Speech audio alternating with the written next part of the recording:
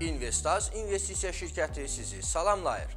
Amerika iqtisadiyyata dair fundamental göstəricilərin zəif açıqlanması fonunda dollar aparıcı valyutalar qarşısında zəifləsə də, analitiklər bunun korrektiv xarakter daşıdığını ehtimal edirlər.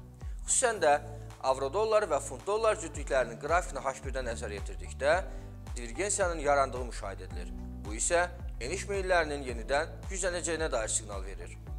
Avro-dollar cütlüyü çərşənbə axşamı 1.21 hədlərinə kimi bahalaşsa da, divergensiyanın yaranması enişlərin yenidən başlanacağına dair siqnal verir. Əgər 1.2088 səviyyəsi aşağıya doğru qırılarsa, enişlər 1.2062 və 1.2020 hədlərinə qədər davam edə bilər. Avro kimi funt ucuzlaşa bilər.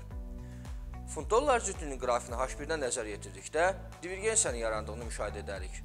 Əgər 1.3790 səviyyəsi aşağıya doğru qırılarsa, növbəti hədəflər 1.3750 və 1.3700 hədləri ola bilər. Həftənin əvvəlindən bahalaşan qızıl 1840 dollar hədləri üzərində qaldıqca artımlarını davam etdirə bilər. Növbəti müqavimət hədləri kimi isə 1850 və 1860 dollar hədləri çıxış edir. Qeyd edək ki, bugün Bakı vaxtı saat 17:00-da Avropa Mərkəzi Bankının sədri Christine Lagarde'ın çıxışı gözlənilir. Saat 17:30-da isə ABŞ-da inflyasiya göstəriciləri açıqlanacaqdır. Əlavə məlumatlar üçün investoraz.az/xəbər saytına müraciət edə bilərsiniz. Investoraz investisiya şirkəti sizə yatırımlarınızda uğurlar arzulayır.